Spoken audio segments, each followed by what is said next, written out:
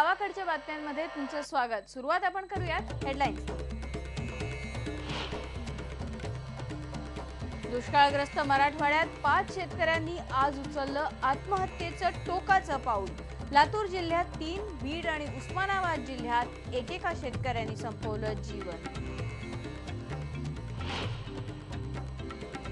कमी पावसाचा फटका नागपूर मधल्या संत्र्याला एपीएमसी मध्ये कवडी मोल भावात विकली जात आहेत संत्री. शेतकऱ्यांना वाहतुकीचा खर्चही परवडेना. दुधाच्या भावात घसरण झाल्याने इंदापुरात काँग्रेस कार्यकर्त्यांचं आंदोलन. हजारो लिटर दूध ओतलं रस्त्यावर.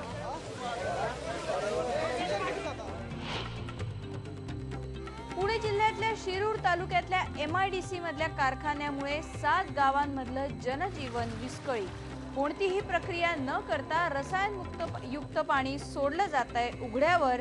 सामाजिक कार्यकर्ते गेल्या पंधरा दिवसांपासून उपोषणावर.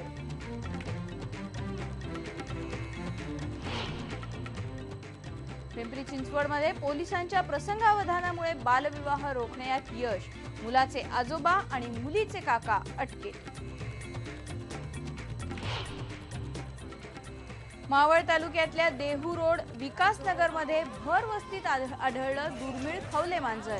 वनविभागाच्या अधिकाऱ्यांनी लोणावळ्यात मांजराला सोडलं जंगलात.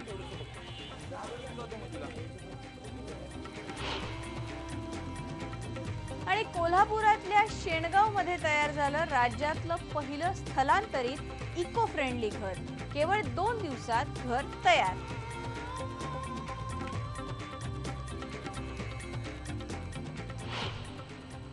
या सगळ्या बातम्या आपल्याला पाहायच्या आहेत पण अतिशय महत्वाची घडामोड सध्याची राज्यातली ती म्हणजे शेतकऱ्यांच्या आत्महत्यांचं सत्र. हे सत्र आजही सुरूच राहिलेलं आहे. पाहूयात या दुष्टचक्राच्या बातम्या.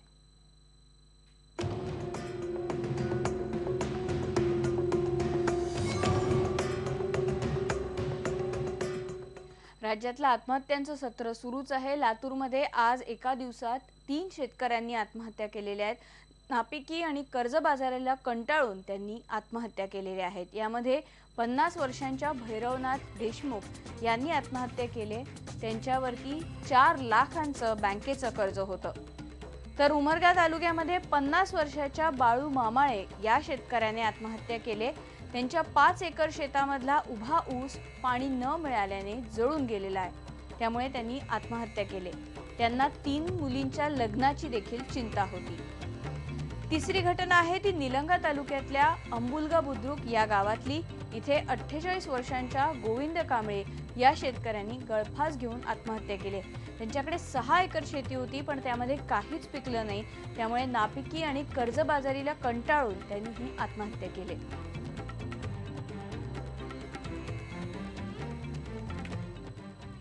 तर उस्मानाबाद जिल्ह्यामध्ये जयदेव भोसले या शेतकऱ्याने आत्महत्या केली. भोसले यांनी देखील नापिकीला कंटाळून जीव दिलाय. उस्मानाबाद तालुक्यातल्या कोंड गावातली ही घटना आहे. काल मध्यरात्री त्यांनी आत्महत्या केली.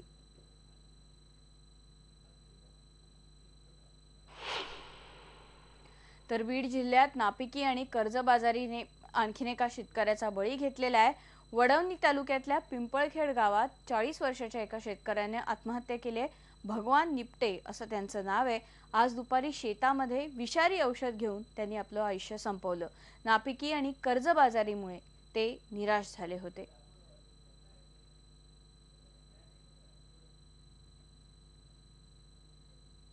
तर मराठवाड्यात देखील दुष्काळाचे झटके दिवसेंदिवस तीव्र होत आहेत. शासनाकडनं घोषणा केल्या जात आहेत पण तरीही शेतकऱ्यांच्या आत्महत्यांचं हे जे सत्र आहे ते काही केल्या थांबताना दिसत नाहीयेत. हिंगोली जिल्ह्यात ही परिस्थिती खूप बिकट झाली आहे. इकडे एका शेतकऱ्याने आत्महत्येचा प्रयत्न केलाय. नापैकी कर्ज परत कसं फेडायचं याची चिंता आणि मुलीच्या लग्नाच्या चिंतेने कळमनुरी तालुक्यातल्या सेलसुरा गावातले शेतकरी मुंजाजी कंठाळे यांनी आत्महत्येचा प्रयत्न केला. विषारी औषध घेऊन त्यांनी जीव द्यायचा प्रयत्न केला. त्यांची प्रकृती सध्या गंभीर आहे. हिंगोलीतल्या एका खासगी रुग्णालयात त्यांच्यावर उपचार करण्यात येत आहेत. कंठाळे यांच्याकडे दोन एकर जमीन आहे पण यावर्षी पीकच आलेलं नाही. त्यात त्यांच्यावरती बँकेचं पंचेचाळीस हजारांचं आणि खासगी पंधरा हजारांचं कर्ज आहे. बँकेचं कर्ज होतं. शेती पिकली नाही. मग ते मालकाला टेन्शन आलं त्यानं. हीच घेतलं. सोयाबीनची एक बिया आणि कापसाची एक पोरगी लग्नाला आली. अकोला जिल्ह्यातल्या बाळापूर तालुक्यामध्ये मनारखेड या गावातल्या काशीराम भगवान इंदोरे या शेतकऱ्यांनी स्वतःला जाळून घेऊन आत्महत्या केलेली होती. इंदोरे अल्पभूधारक शेतकरी होते. नापिकीमुळे ओढवलेल्या आर्थिक संकटाला तोंड देणं त्यांना अवघड झालं होतं. या घटनेचं वृत्त आयबीएन लोकमतने प्रसारित करताच विरोधी पक्षनेते एकनाथ शिंदे यांनी या शेतकऱ्याच्या कुटुंबाला तात्काळ भेट दिली आणि एक लाखाची मदत या कुटुंबाला देण्यात आली उद्धव ठाकरेंनी स्वतः शेतकरी कुटुंबाचं सात्वन करण्यासाठी त्यांना पाठवलेलं होतं.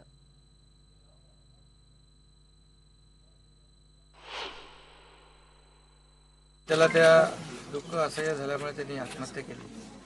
स्वतःची चिता रचून या अशा घटना थांबल्या पाहिजेत.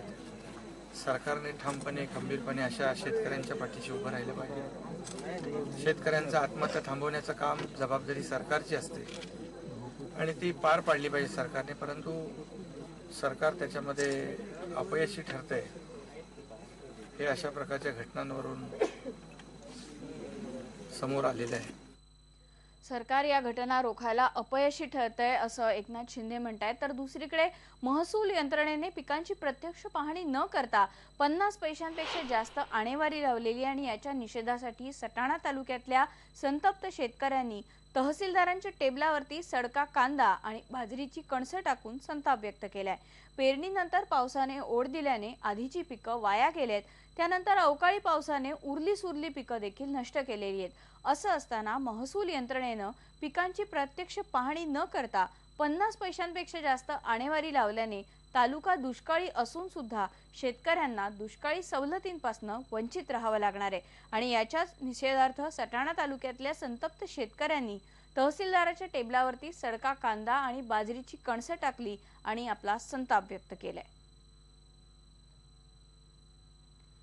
कमी पाऊस पडलेला आहे आणि याचाच फटका संत्र्याला देखील बसलेला आहे. संत्र्याचं उत्पादन कमी झालंय. आंबिया बहारातल्या संत्र्याचं कमी पावसामुळे खूप मोठं नुकसान झालंय आणि शेतकरी आता ही संत्री नागपूरच्या कृषी उत्पन्न बाजार समितीत कवडी मोल भावाने विकतायत. सध्या व्यापारी आठ ते बारा हजार रुपये टनाच्या भावाने संत्र्याचा लिलाव करतायत.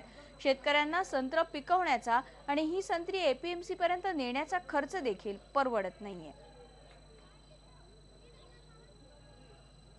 आणि याच एकूण परिस्थितीचा आढावा घेतला आमचे नागपूरचे ब्युरो चीफ प्रवीण मुधोळकर यांनी. नागपूरच्या कळमना मार्केटमध्ये आपण आत्ता आहोत आणि या ठिकाणी आपण शेतकऱ्यांना विचारूया की त्यांना यावेळेस संत्र्यापासून उत्पादन जे आहे ते किती मिळालं आणि दरवेळेस काय परिस्थिती असते? काय सांगाल? यावर्षी पावसाचं कमान कमी आहे आणि फळगळ खूप झाली. जे रोग आले संत्र्यावरती त्याच्यावरती जी उपाययोजना आहे जे पंजाबराव कृषी विद्यापीठानं तज्ज्ञांना पाठवून शेतकऱ्यांना मार्गदर्शन करण्याचा प्रयत्न केला तो सुद्धा तोडका ठरला. कारण का त्यांनी जे काही उपाय सुचवलेत ते एवढे म्हणजे तात्काळ उपाययोजना जी व्हायला पाहिजेत ते मार्गदर्शन त्यात नव्हतं.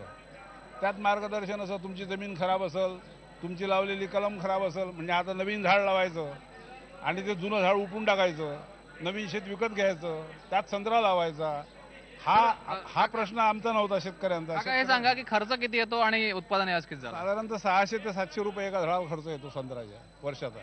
उत्पादन उत्पादन ते चारशे तीनशे संत्र टिकून राहिले झाडाला. सात आठशे संत्र राहायला पाहिजे.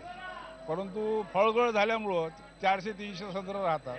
आणि चारशे तीनशे संत्र इथं आल्यावर जर रुपया संत्रानं जर विकल्या गेले तर आणायचा खर्च निघत नाही. आणि फेकून द्यायला मन होत नाही. आपल्यासोबत आणखी लोक व्यापारी आहेत त्यांना विचारूया की संत्र्यांचे भाव काय आणि संत्रा कुठे पाठवला जातो? काय सांगाल? संत्र्याचा भाव आठ हजारपासून तर चौदा हजार रुपये टन खपून राहिले. ते सगळा माल यूपी बिहार ते आंध्र प्रदेश तमिळनाडू नेपाळ बांगलादेश बी जाऊन राहिले इकडून. तर या वर्षी पोझिशन जास्त नाही आहे. माल खूप जास्त आहे. या त्यासाठी रेट कमी आहे. एकीकडे शेतकऱ्याला शेतीतनं उत्पन्न मिळत नाहीये तर दुसरीकडे दुधातनं जे उत्पन्न मिळत होतं त्यात देखील घट झालेली आहे. कारण गेल्या काही दिवसांपासून दुधाच्या खरेदी दरामध्ये अठ्ठावीस रुपयाच्या दरावरनं अठरा रुपयांच्या दरापर्यंत घसरण झाली आहे आणि त्यामुळेच शेतकऱ्याचं आर्थिक गणित बिघडलेलं आहे. आणि यामुळे पुणे जिल्ह्यातल्या इंदापूरमध्ये काँग्रेस कार्यकर्त्यांनी सोलापूर राष्ट्रीय महामार्गावरती रास्ता रोको केला. कार्यकर्त्यांनी हजारो लिटर दूध रस्त्यावर ओतून दिलं. शेतकऱ्यांनी आता आंदोलनाचं हत्यार उपसण्याचा निर्णय घेतलाय. येत्या चार दिवसांमध्ये बारामती आणि इंदापूरमध्ये पुन्हा आंदोलन करण्याचा इशारा देण्यात आलेला आहे. आज शेतकऱ्यांच्या तीव्र भावना ज्या दुधासंदर्भात झालेल्या आहेत त्या भावना व्यक्त करण्याकरता आज शेतकऱ्यांनी उत्स्फूर्तपणे आज रस्त्यावर आणून दूध ओतलं आणि रस्ता आंदोलन करून शा या शासनाचा निषेध केला आणि शासनाने लवकरात लवकर जर या म, दुधा दरामध्ये जर निर्णय नाही दिला तर आणखीन तीव्र आंदोलन केलं जाईल आणि आठ तारखेपासून दूध घेण्याचं बंद केलं जाईल असं शासनाच्या निषेधात हा मोठ रस्ता रोको करून आम्ही त्या शासनाचा निषेध करीत आहोत. आणि यानंतर गावाकडच्या बातम्यांमध्ये आपण एक ब्रेक घेऊयात आणि ब्रेक नंतर आपण पाहणार आहोत. पुणे जिल्ह्यातल्या शिरूर तालुक्यात एम आय डी सी मधल्या कारखान्यामुळे सात गावांमधलं जनजीवन विस्कळीत.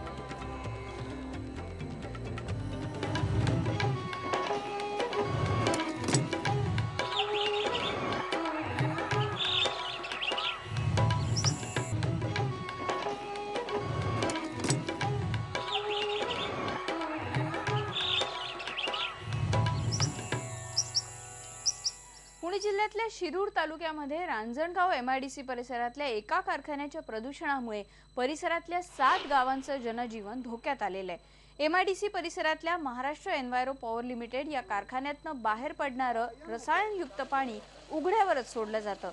आणि त्यामुळे परिसरातल्या सात गावांमधली शेती जनावरं आणि मानवी जीवनावरती याचा विपरीत परिणाम होतोय आरोग्य विभाग आणि महाराष्ट्र प्रदूषण नियंत्रण मंडळाने या परिसराची पाहणी करून पंचनामे केले पण अजून कोणतीही कारवाई झालेली नाहीये. महाराष्ट्र एन्व्हायरो पॉवर लिमिटेड ही राज्यभरातल्या रासायनिक कारखान्यांमधनं निघणाऱ्या घनकचऱ्यावर प्रक्रिया करणारी एकमेव कंपनी आहे. आमच्या या महाराष्ट्र एन्व्हा पॉवर कंपनीच्या पाण्यामुळं संपूर्ण जवळजवळ हजारो एकर शेतकरी नापीक झालेली. इथून अहमदाबाद अन्नापूर निमगाव बोगी या दोन तीन गावांच्या पिण्याच्या पाण्याचा प्रश्न अतिशय भेकट झाला आहे त्यातून दुसरी गोष्ट म्हणजे सर्वात महत्त्वाची. आम्ही जी जी लक्ष्मी पाळतो जनावरं ही जनावरं सात आठ महिन्याची होईपर्यंत राहतात. तिथून मग आपाप गर्भ फेकून देतात. म्हणजे गाभडतात आणि फेक बिमुग जर केला तर पाच पायला बी जर पेरलं तर एकच पोतं शेंगणी गती ती जर खाल्ली तर संपूर्ण या पाण्यामध्ये वास येतो ऊस जर खाल्ला शेतात पिकवलेला भाजीपाला कुठलाही जर खाल्ला तर त्याचा परिणाम या भाजी पाण्याच्या वासासारखा आपल्या भाजीचा वास येतो. इतका या पाण्याने आमच्यावर इकडं म्हणजे परिणाम झाला आहे पाच सहा वर्षापासून आमची सगळी पाणी नापीक झालं शेती नापीक झाली. आम्हाला कुठलं काही करता येईना मुलं शिकवता येईना काही करता येईना. आम्ही काय करायचं इथून पुढं?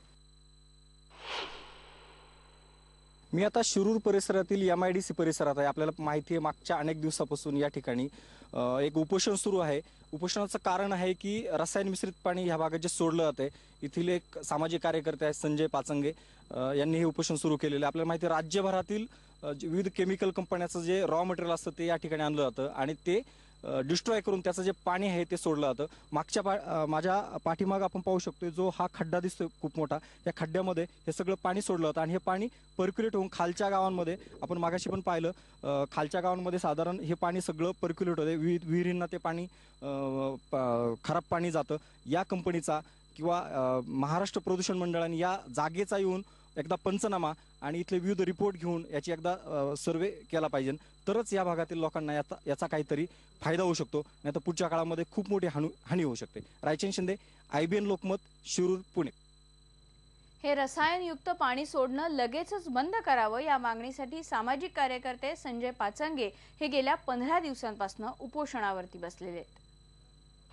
जमिनीच्या पोटात खड्डा घ्यायचा होता त्यात फक्त राख गाडायची होती. जो काही केमिकल कचरा आणायचा होता तो जाळायचा होता आणि त्यापासून वीज निर्मिती करावी होती. आजपर्यंत एक युनिटही वीज या ठिकाणी निर्मिती केलेली नाही. तरी सुद्धा राज्य शासनाने या कंपनीला वसुंधरासारखा पुरस्कार मिळाला आहे की पर्यावरणाचा समतोल राखला. वास्तविक सात गावांचं पिण्याचं पाणी या कंपनीने या ठिकाणी खराब केलेलं आहे. आणि जवळच या ठिकाणी शिरूर नगरपालिका आहे. अगदी त्या नगरपालिकेच्या पाण्याच्या स्रोतामध्ये हे पाणी मिसळलेलं आहे. घनकचऱ्यापासून वीज निर्मिती करण्याच्या उद्देशाने ही कंपनी सुरू करण्यात आली होती पण सात वर्ष झाली तरी एक युनिट सुद्धा वीज या ठिकाणी निर्माण झालेली नाहीये. इथले आमदार बाबूराव पाचरणे आता हा विषय हिवाळी अधिवेशनात उपस्थित करणार आहेत. हिवाळी अधिवेशनामध्ये हा प्रश्न निश्चित स्वरूपामध्ये केला जाईल. तारांकित प्रश्न देण्याची वेळ आमची संपली असली तरी लक्षवेधी आम्ही त्या ठिकाणी उपल उपस्थित करून सरकारचं लक्ष या गंभीर प्रश्नावर वेधण्याचं काम करू. या प्रकरणाचा पाठपुरावा आपण करत राहणार आहोत पण गावाकडच्या बातम्यांमध्ये आता वेळ झाली एका ब्रेकची पहा फक्त आयबीएन